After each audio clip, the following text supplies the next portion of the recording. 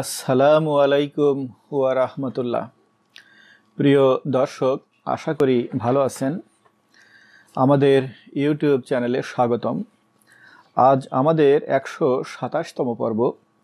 এই পর্বে আমরা ভ্যাট আইনের অধ্যায় একের ধারা তিন আলোচনা করব।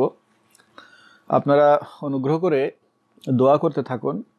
রাশিয়া ইউক্রেন আক্রমণের পরে আন্তর্জাতিক নিরাপত্তা হুমকির মুখে পড়েছে। এর ফল আউট আমাদের দেশেও কিছু কিছু ইম্প্যাক্ট আমাদের দেশেও পড়ছে।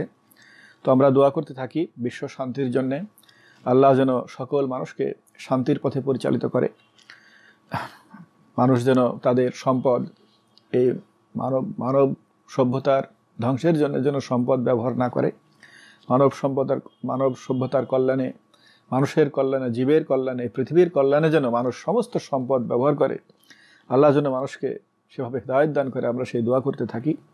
তো প্রিয় দর্শক, আমাদের আজ পর- পর্ব একশো সাতাশ। আমরা আজকে এই ভ্যাট আইনের অধ্যায় একের ধারা তিন আলোচনা করব। ধারা তিন, ধারা তিনের শিরোনাম হলো আইনের প্রাধান্য।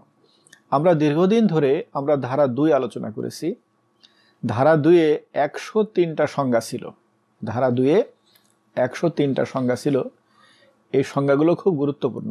এই সংজ্ঞাগুলো দেওয়া হয়েছে এই কারণে যে আইনের ভিতরে এই কনসেপ্টসগুলো আইনের ভিতরে, আইন এবং বিধির ভিতরে বারবার ব্যবহার করা হয়েছে তাই এই কনসেপ্টসগুলো যেন আমরা বুঝতে পারি, পাঠক যেন বুঝতে পারে, এই জন্যে প্রথমেই এই কনসেপ্টগুলোকে সংজ্ঞায়িত করা হয়েছে। তো আমি আশা করি এই সংজ্ঞাগুলো আপনারা বুঝতে পেরেছেন। আমরা এরপরে আমরা বিধির প্রথম অধ্যায়ের আলোচনায় যাব, সেখানেও আমরা কিছু সংজ্ঞা পাব।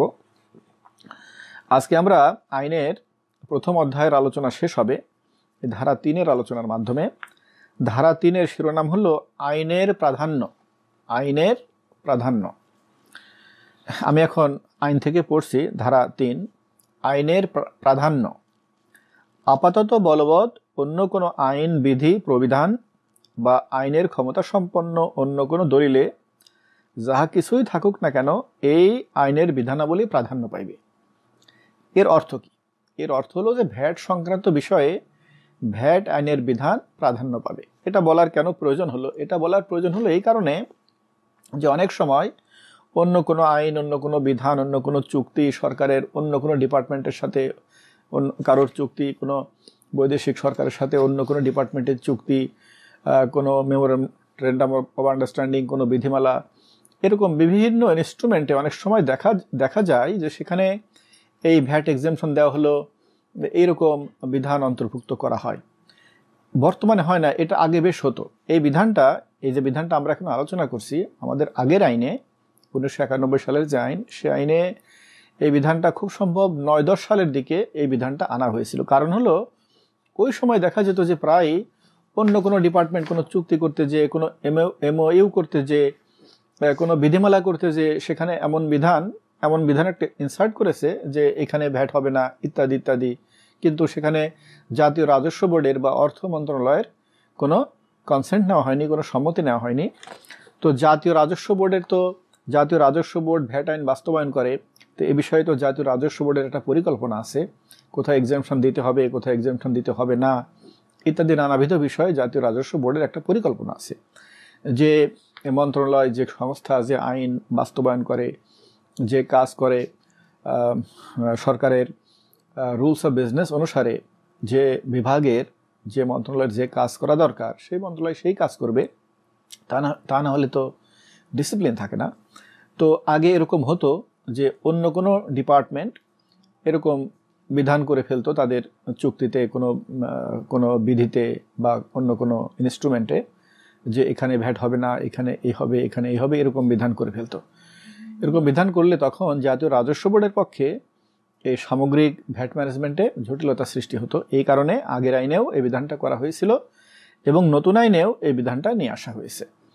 তো এই বিধানে কি বলা হয়েছে? এই বিধানে বলা হয়েছে যে অন্য কোনো আইন, বিধান ইত্যাদিতে যা কিছুই থাকুক না কেন এই ভ্যাট সংক্রান্ত বিষয়ে, ভ্যাট আইনে যেটা বলা আছে, ভ্যাট বিধিমালায় যেটা বলা আছে, এই জাতীয় রাজস্ব বোর্ড কর্তৃক প্রণ- প্রণীত বিধিবিধানে যেগুলো বলা আছে, এগুলো প্রাধান্য পাবে। তো আমি আশা করি, প্রিয় দর্শক, আপনারা এই ধারা তিনে কি বলা আছে, আশা করি আপনারা সেটা বুঝতে পেরেছেন। আমরা আইনের প্রথম অধ্যায় আমরা আলোচনা শেষ করলাম। আমরা এর পরের পর্বে আমরা বিধি, বিধিমালায় যাব। বিধিমালার আমরা প্রথম অধ্যায় আলোচনা শেষ করব। এভাবে আমাদের একটা অধ্যায় আলোচনা শেষ হবে। আমরা আশা করছি এর পরের অধ্যায়গুলো আমরা খুব দ্রুত আমরা শেষ করতে পারব। তো প্রিয় দর্শক, আপনারা যারা এখনও আমাদের চ্যানেলটি সাবস্ক্রাইব করেননি, অনুগ্রহ করে সাবস্ক্রাইব বাটনে ক্লিক করুন এবং বেল আইকনে ক্লিক করুন এবং লাইক, শেয়ার, কমেন্ট করুন। যদি ভ্যাট সংক্রান্ত বিষয়ে আপনাদের কোনো প্রশ্ন থাকে, অনুগ্রহ করে ভ্যাট ফর্মের কল সেন্টারে কল করুন।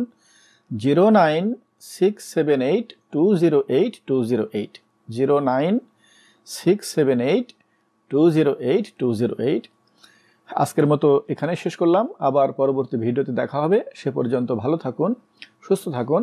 অনেক ধন্যবাদ। খোদা হাফেজ। আসসালামু আলাইকুম ওয়া রাহমাতুল্লাহ।